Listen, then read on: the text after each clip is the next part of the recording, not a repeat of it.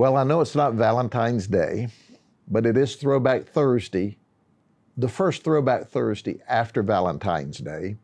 And I hope all of you guys did something really nice for your Valentine on Valentine's Day.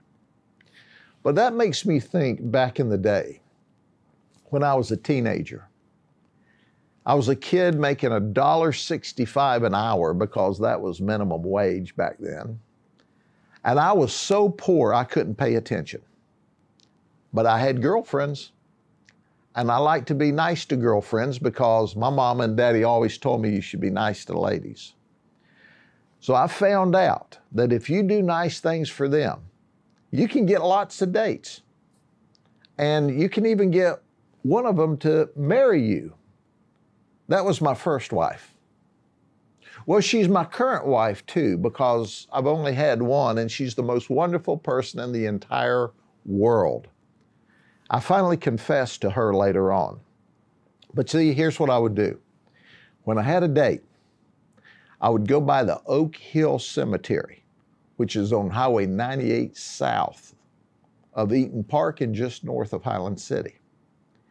And they had this old trash pile.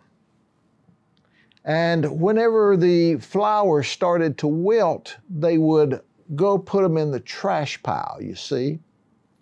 So I would go dig through the trash pile till I found some flowers that were still in pretty decent shape. And I would pull them out and then I would put them in either a vase or sometimes just a mason jar or sometime I would just wrap, wrap them up in some tissue. And when I'd go out on a date, I'd hand them these flowers, beautiful flowers.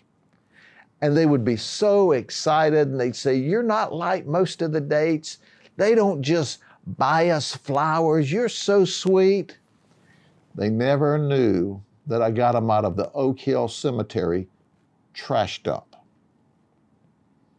Well, after Marissa married me, the most wonderful woman in the entire world, have I ever told you about her?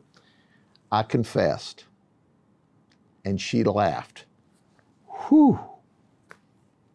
I hope you did right on Valentine's Day, guys, because if you didn't, your lady may never forgive you.